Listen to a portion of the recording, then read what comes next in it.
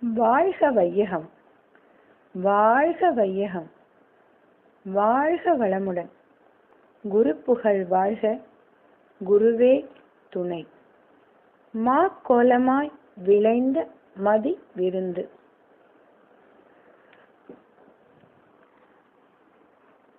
ஆண் பெண் தத்துவம் அற்றுமுள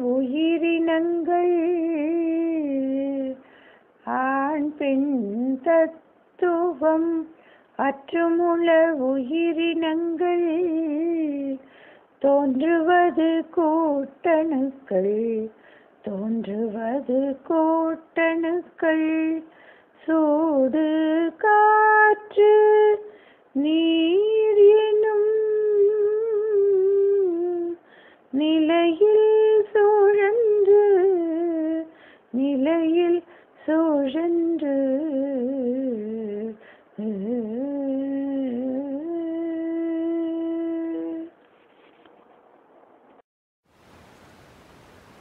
வாழ்க வையகம் வாழ்க வையகம் வாழ்க வளமுடன்.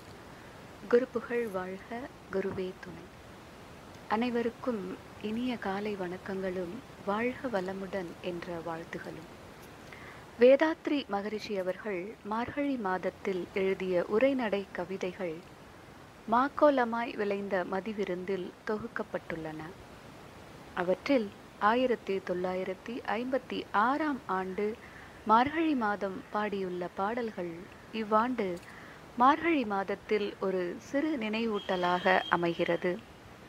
அவ்வகையில் மார்கழி மாதம் பத்தொன்பதாம் நாள் மூன்று ஒன்று ஆயிரத்தி தொள்ளாயிரத்தி ஐம்பத்தி ஆறு என் அன்று வித்து என்ற தலைப்பில் மகரிஷி அவர்கள் பாடியிருக்கிறார்கள்.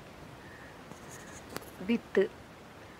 ஆண் பெண் தத்துவம் அற்றும் உல உயிரினங்கள். தோன்றுவது கூட்டணுக்கள். சூடு காற்று நீர் எனும் நிலையில் சுழன்று அப்படின்னு சொல்லியிருக்காங்க. வித்தின் மூலம்தான் உயிரினங்கள் தோன்றுகிறது. வித்துதான் பிறவி தொடருக்கு மூலமாக அமைகிறது என்று கருத்தையே மகரிஷி அவர்கள் வலியுறுத்துகிறார்கள்.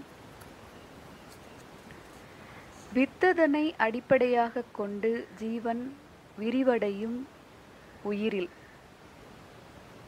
இப்போ உயிரில் வித்ததன் வித்தைத்தான் அடிப்படையாக கொண்டு ஜீவ இனங்கள் பல்கி பெருகும் அப்படின்னு சொல்கிறாங்க கோடான கோடி ஜீவ இனங்கள் ஒரே வித்தல் அப்படின்னு ஒவ்வொரு வித்து இருந்தும் தொடராக உயிரினங்கள் தோன்றுகின்றன.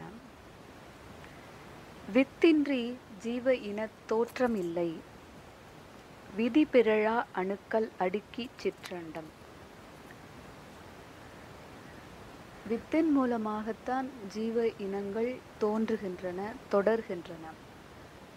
இந்த சிற்றண்டமாக இருக்கக்கூடிய உடலில் உயிர் இயங்குவதற்கு வித்துதான் காரணமாக இருக்கிறது. அந்த அணுக்களின் இயக்க ஒழுங்குப்படி அது உயிரில் இயங்கிக் கொண்டிருக்கிறது. இந்த வித்து மனித உடலில் இல்லை ஜீவ உயிரின உடலில் சித்துருவில் நீர் நெருப்பு காற்று விண் என்ற நான்கும் அதன் அதன் வேகத்தில் வித்தில் அமைந்துள்ள பாதையூடே சுற்ற. இந்த உயிரினங்களில் வித்து நீர் நெருப்பு காற்று விண் என்ற இந்த நான்கு பூதங்களின் தன்மைக்கு ஏற்ப அதன் அதன் இயல்புக்கு ஏற்ப அதன் அதன் பாதையில் வித்தல் அமைந்துள்ள தன்மைக்கு ஏற்ப அது சுழன்றோடி இயங்கும் பொழுது விளைவு கொள்ளல் தள்ளல் உணர்ச்சி மற்றும் வித்து பல இடும் ஆற்றல். வித்து பல இடும் ஆற்றல் உள்ள ஜீவன்.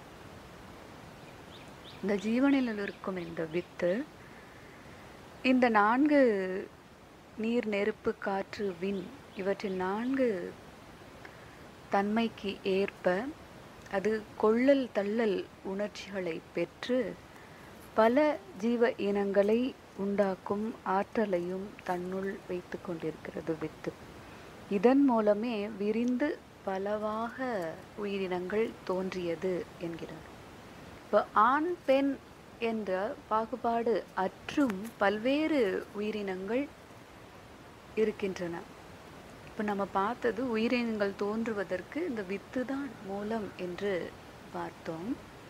ஆண் பெண் அற்றும் பல்வேறு உயிரினங்கள் இருக்கின்றன. தாவரணங் தாவரங்கள் புழுக்கள் பூச்சிகளில் ஆண் பெண் பேதம் கிடையாது. அப்படி இருக்கும் பொழுது இந்த வித்தின் மூலம் எப்படி அங்கு ஓரறிவு இந்த ஈரறிவு தாவரணங் உயிரினங்களில் ஜீவ இனங்கள் தோன்றும் என்பதைத்தான் மகரிஷி இங்கு விளக்கியிருக்கிறார்கள். ஆண் பெண் தத்துவம் அற்றும் உள்ள உயிரினங்கள் ஆண் பெண் பிரிவு இல்லாமலும் பல்வேறு உயிரினங்கள் இருக்கின்றன.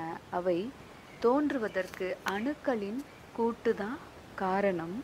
அப்படி அந்த அணுக்கள் கூடும் பொழுது அவற்றின் வெப்பம் சூடு அதிலிருந்து எழும் காற்று நீர் எனும் நிலையில் சுழன்று இது மூன்றும் சுழன்று இயற்கை ரசாயனத்தை உண்டு பண்ணி உயிரினங்கள் பல்கி பெருகுகின்றன என்று இந்த அணுக்களின் கூட்டு